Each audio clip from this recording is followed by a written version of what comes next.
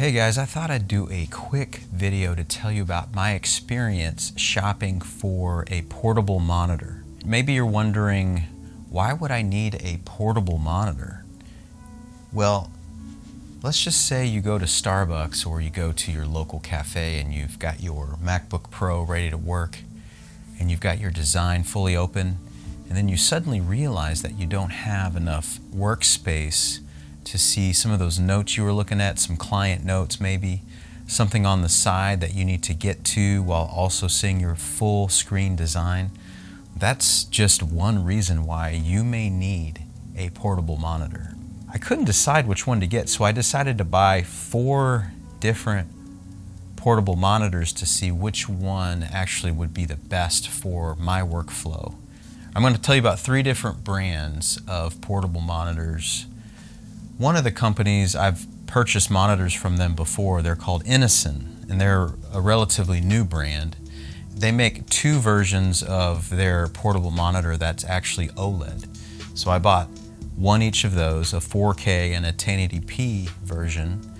And I also bought two others. One is from a company called UPerfect, and the other is from a company called KYY.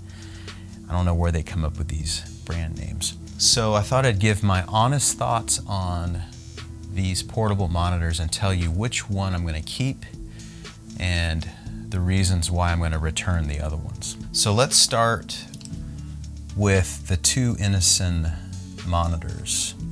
So the first one we have is actually a 1080p OLED panel.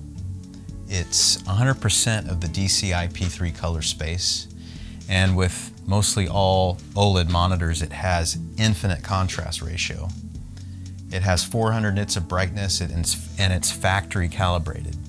It has USB-C, mini HDMI, and comes with a really cool smart case. The things I like about this display, it's a very light panel. It's very easy to work with and bring with you. It's 15.6 inches um, and it's perfect for productivity on the go. And in my case, I also needed something that would work as a, a display that I could show to clients when I'm shooting photography in a tethered mode. When I, what I mean by that is my camera is tethered and connected to my computer. So each time I take a photo, they're seeing their headshot pop up on a screen. And so this acted as that screen so they could see their photo and instantly respond to the results. It's a great way to shoot photos and get instant feedback from your clients. So the thing, the thing I like about it is the color accuracy is phenomenal. It is factory calibrated, like I said earlier. You really don't have to do anything to it. As soon as you plug it in, it works great. The things I don't like about it though, if you plug it in directly to the MacBook Pro, it can only get to 20% brightness through the USB-C or HDMI. And in order to get higher brightness, you actually have to plug in a power brick to it.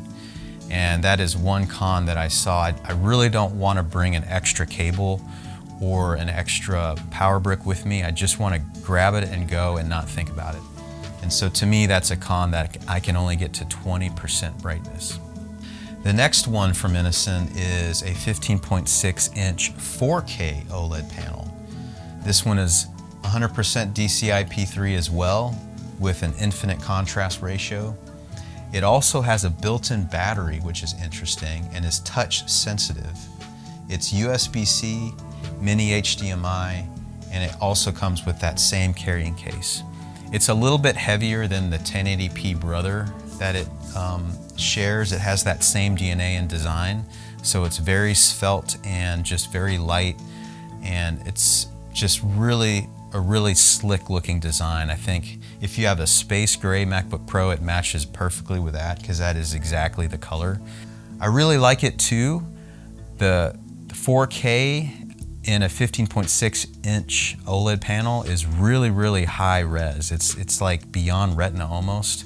The thing that's weird about it though is, and I don't know if this is just a limitation to OLED, is when you look at white on there, you see this kind of graininess to it.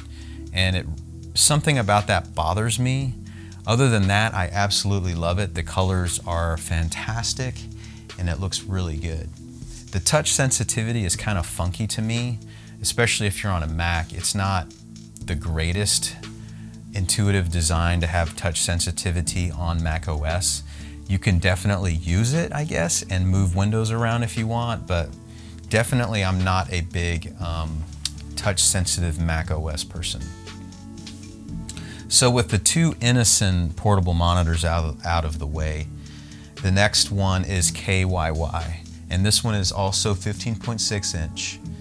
It's an IPS panel, and it covers 100% of the Adobe RGB space.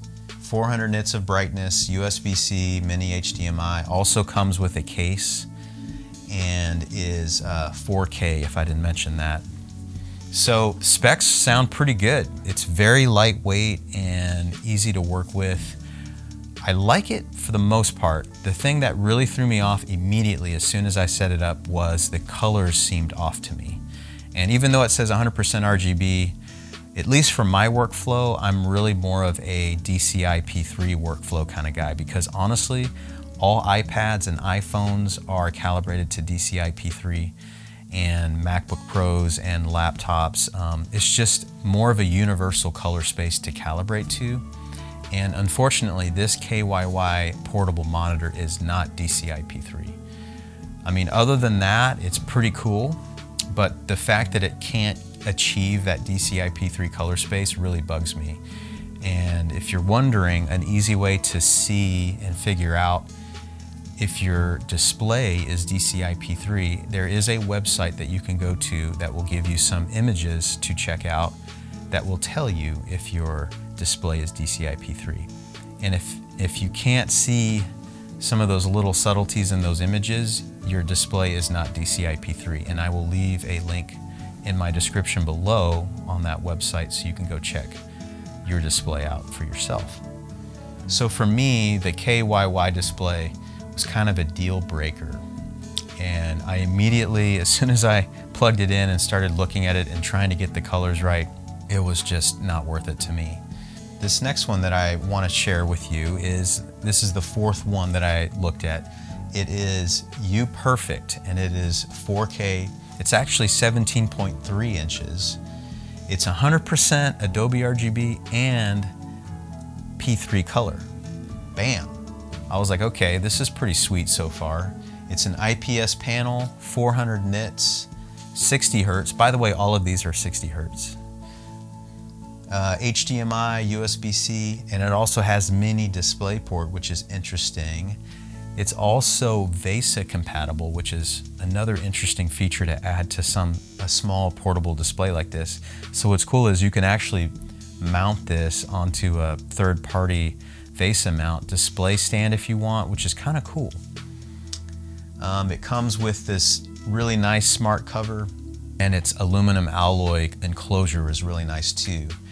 The thing I really like about this one is it's just very professional looking to me. I love that it's just solid black with no branding on it. It's completely just ready to go out of the box. And for me, for the needs, specific needs I have, it's actually the perfect one, I think, for me. It gives me a little bit more space, and I like that it actually matches the height and just width feel of my MacBook Pro. It actually helps continue my MacBook Pro display, my 16-inch MacBook Pro.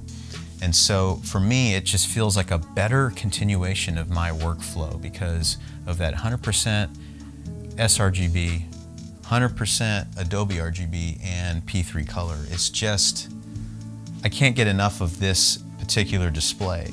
It is IPS. Um, I do feel like the OLED panels are just, they can, it feels like they can get a little bit brighter to me when I look at them and really max them out.